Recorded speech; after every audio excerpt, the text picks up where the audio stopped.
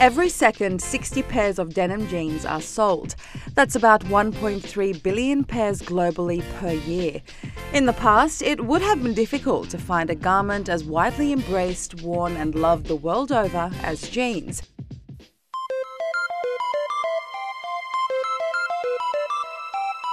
This decade, however, is fast becoming defined by athleisure, and according to today's fashion designers, bloggers, and industry experts, the athleisure trend is on its way to establish itself as one of the fastest growing fashion segments by 2020.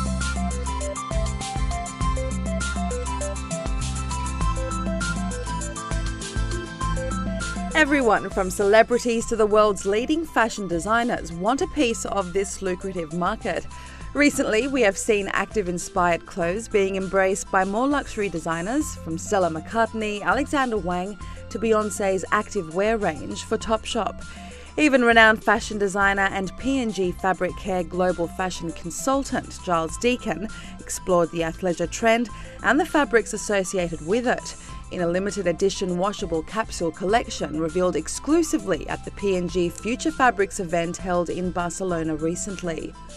The collection that we've just shown is, um, a, I wanted it to be a, a super energetic, really youthful um, kind of collection with, you know, with, with, all the fabrics that we talked about within today's um, event. So very um, um, like polyamides and 3D foams and, and, um, and very ultra lightweight fabrics um, that can encompass all the athleisure trend as everyone's talking about, as AL as I keep on trying to push it.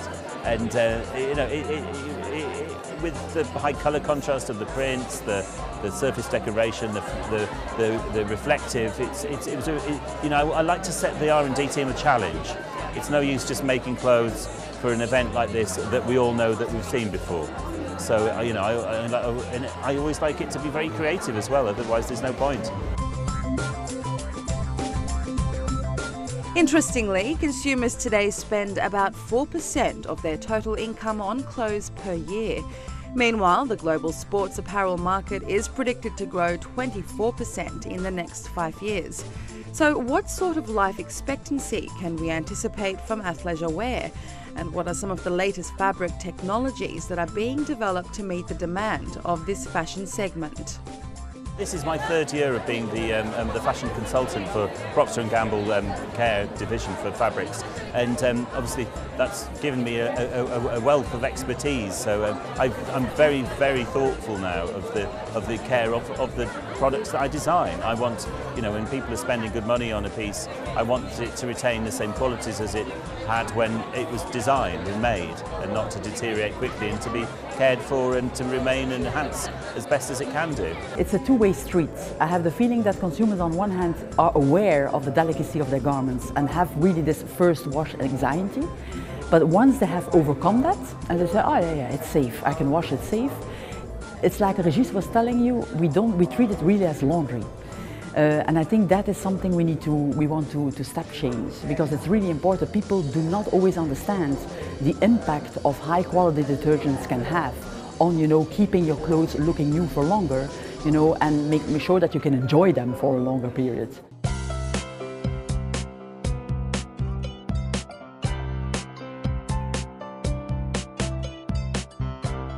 Recent global survey commissioned by P&G Fabric Care on behalf of Ariel and Downy explored the popularity of the athleisure trend, revealing that nearly 3 out of 4 consumers, that's 71%, consider active inspired clothes as part of their normal everyday clothes.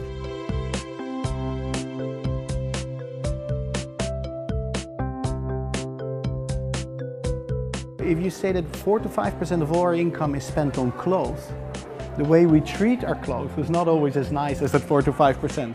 So I think there's a huge opportunity for the whole industry to take the caring for clothes much more serious and much more thoughtful in making sure we keep the clothes looking for new much longer. This new trend brings a challenge when it comes to clothing care. Today, 60% of loads contain laundry garments other than cotton. So, are we investing the same time and money in the way that we care for these garments?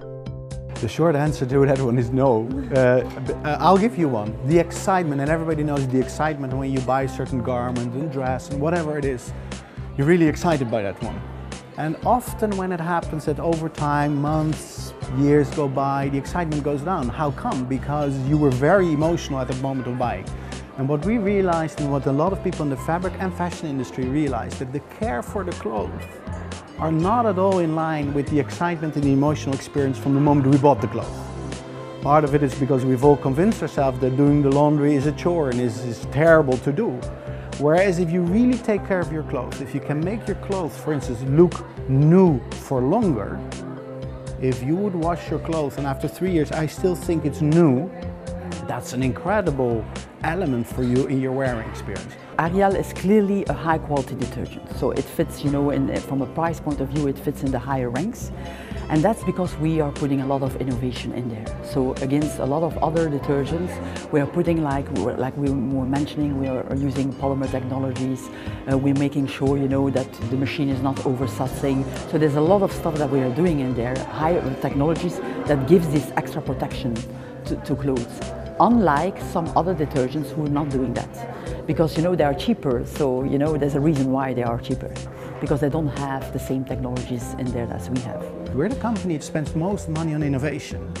Because we believe if, for instance, by using a detergent, I can keep your garment for five or 10 years looking like new, that's an incredible value that I offer to you.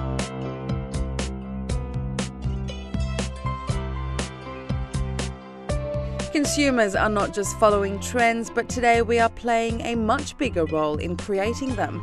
So it is only fitting that we give the same amount of thought to maintaining the one possession that plays a large role in reflecting who we are our clothes.